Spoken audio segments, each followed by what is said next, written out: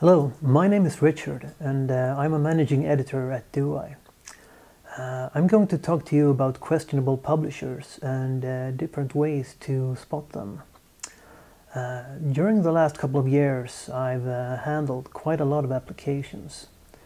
Uh, some of them were submitted by serious, or most of them were submitted by serious publishers, but some of them came from questionable ones as well. Um, in the beginning, it wasn't that easy to tell them apart, but after a while you learn to spot different characteristics.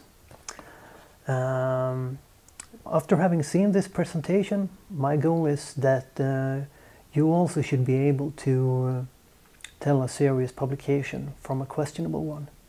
To start with, what is a questionable publisher? Uh, how do we define it? Usually a questionable publisher is said to be one who charges a fee from an author without delivering the services uh, that one would uh, generally expect. Uh, mostly peer review and editorial control. Uh, and this means uh, that insufficient peer review and in some cases no peer review at all is taking place.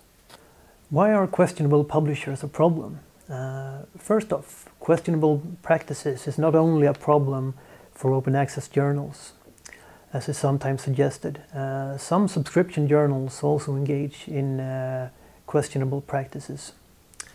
Uh, the main problem with questionable publishers is uh, that they may pollute the scientific record uh, with non-peer-reviewed articles. So how do you spot a questionable publisher? Um, there are some signs that you might have encountered a questionable publisher that are relatively easy to notice.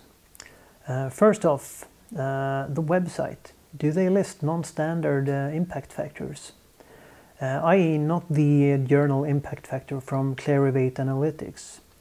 Uh, here we're referring to made-up impact factors, but also non-standard uh, indexing services. And anonymity. do they list contact persons or personnel on the site?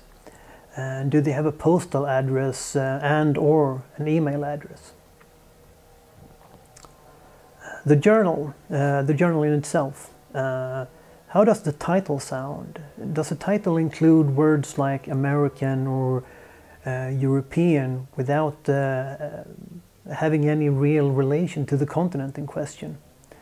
Uh, does the title and scope combine subjects that usually don't go too well together, like International Journal, Journal of Business, Technology and Aesthetics? Uh, or is it just very broad in scope? And then we have marketing. Do they advertise uh, uh, fast publication times uh, or relatively low publication fees? Uh, does collecting APCs seem to be the main purpose of the journal? Um, this is also about the general impression you get from the website. Does uh, does the presentation seem to be aimed at authors uh, rather than readers.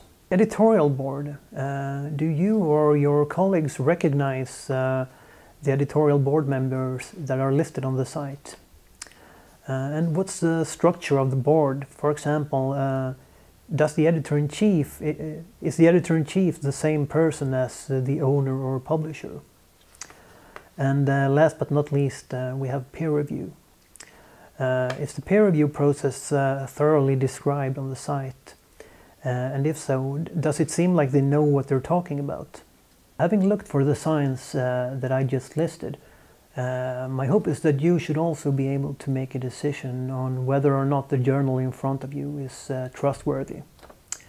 Uh, some resources that might come in handy when you when you need to make such decisions are the ThinkCheck Submit site and also the DOAJ community curated whitelist.